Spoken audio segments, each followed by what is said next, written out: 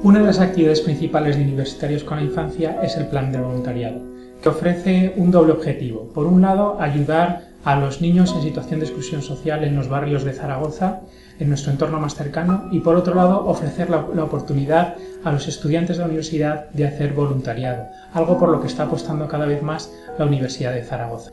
Eh, las actividades que allí se hacen son sobre todo de, apoyo escolar, es decir, de hacer los deberes con los niños en horario extraescolar, huerto escolar, periódico escolar. También hay eh, clases para madres y padres eh, de español, clases de español, sobre todo para madres de niños inmigrantes.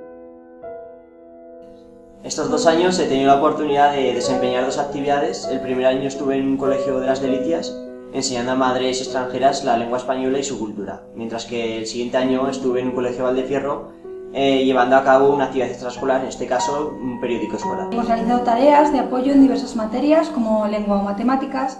Gracias a esta labor los niños han podido mejorar su nivel educativo y les hemos ayudado con los contenidos que les resultaban más difíciles. Ha sido una experiencia bastante satisfactoria y enriquecedora para las dos partes, tanto para los niños y las madres como para mí. Ha sido una gran experiencia mucha satisfacción personal, en definitiva muy recomendable.